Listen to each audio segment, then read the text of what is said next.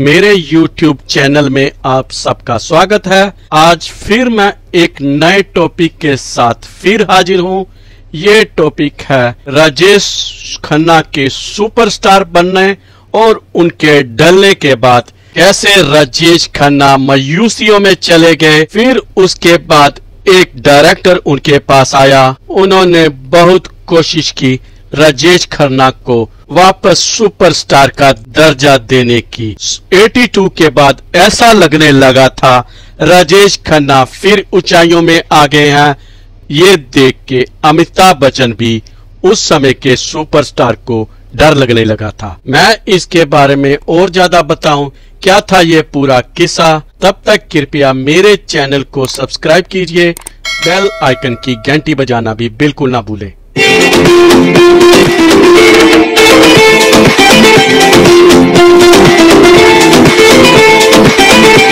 Seventy के दौर में जब राजेश खन्ना सुपरस्टार थे तो उनके पास डायरेक्टर प्रोड्यूसरों की लाइन लगी हुई थी। हर कोई राजेश खन्ना को फ़िल्मों में लेना चाहता था, लेकिन सेवेंटी के डलते डलते एटीज के आते आते वो लाइन अमिताभ बच्चन, धर्मेंद्र, मिथुन चक्रवर्ती, ऋषि कपूर शशि कपूर की तरफ़ चली गई थी। राजेश खन्ना अब अकेले थे। उनके पास फ़िल्मों की ऑफ़र आनी तो बंद हो चुकी थी। लोग उनका हालचाल भी पूछने नहीं आते थे।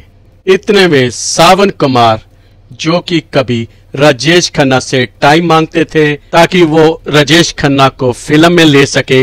राजेश खन्ना इतने बिज़ी होते थे, उनकी फ़िल्म नहीं कर सके इतना ही नहीं, राजेश खन्ना की स्टारडम को देखते हुए सावन कुमार हिम्मत ही नहीं करते थे ताकि वो राजेश खन्ना को फ़िल्म में ले सके।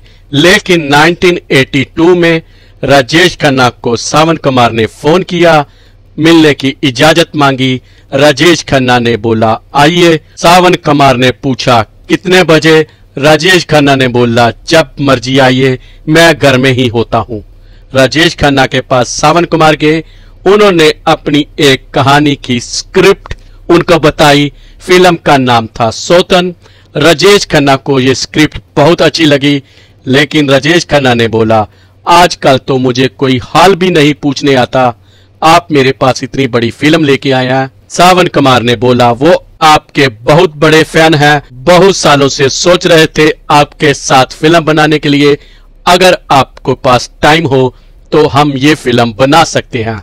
राजेश खन्ना ने डायरी निकाली, उसके सामने रख दी, बोला, कहीं भी लिख दो, मैं तैयार हूँ, मेरे पास इस समय टाइम ही टाइम है। मेरी डायरी पूरी खाली है, कोई शूटिंग नहीं कर रहा, एकदम फ्री। सावन कुमार ने फ़िल्म बनाई सोतन, जिसमें राजेश खन्ना, टीना मुनीम और पद्मनी कोलापुरी ने सोतन फ़िल्म में सोतन का किरदार किया।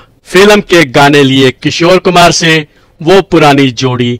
जब किशोर कुमार को पता चला, राजेश खन्ना इस फ़िल्म में है, उन्होंने इस फ़िल्म के गानों के लिए कोई फ़ीस नहीं ली। और ऐसा ही हुआ, ये गाने भी इस फ़िल्म में सुपर डुपर हिट रहे। इसमें से एक गाना, शायद मेरी शादी का ख्याल दिल में आया है। इसीलिए मम्मी ने मेरी तुझे चाय पे बुलाया है। ये फ़िल्म का गाना आज भी लोग गुनगुनाते हैं। राजेश खन्ना जैसे ही शूटिंग के लिए बाहर आए, एक और डायरेक्टर मोहन कुमार ने फ़िल्म में राजेश खन्ना को अप्रोच किया। फ़िल्म थी अवतार।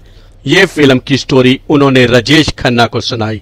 इसमें राजेश खन्ना को बाप का रोल अदा करना था, क्योंकि राजेश खन्ना एकदम खाली थे। उनको एक सोतन फ़िल्म ही मिली थी। उन्होंने इस फ़िल्म को भी हाँ कर दी। उन्होंने अवतार और सोतन फ़िल्म की शूटिंग शुरू कर दी।